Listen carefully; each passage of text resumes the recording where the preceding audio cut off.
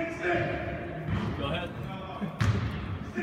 Someone asked Kris, Kris. a, uh, as a rookie learning the job of point guard in this league, what's it been like watching Ricky, especially as I think he's had double figure assists in like eight or nine games. Yeah, uh, he has really high IQ. Uh, I think we all know he's an excellent passer.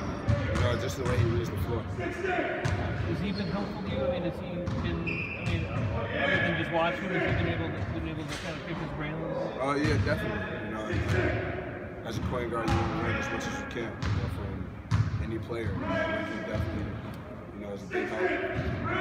Talking about things and pick and rolls, just basically what you see on the floor and how you read it. Talked about playing an edge, once against playing an edge. Do you feel like you're, you're starting to do that as a team? Uh, yeah. Um, I think defensively, you know, we're coming together. Uh, I think we're all starting to learn, you know, each, each other's personnel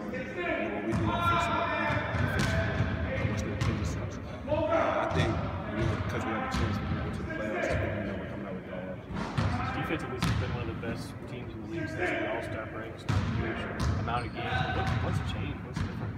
Uh, I think it's the urgency. You know, I think we all want to try to get to the playoffs you know, and try to make a nice run. And you know, the fact that we're so close to it, uh, you know, I think it's just urgency. You know, everybody just trying to go out there and play their hardest. Have you gotten to the point too where you guys know what to do without thinking, without being comfortable with what you need to do? Uh, I think we're getting close to it. You know, I think uh, we can still improve you know, as a team.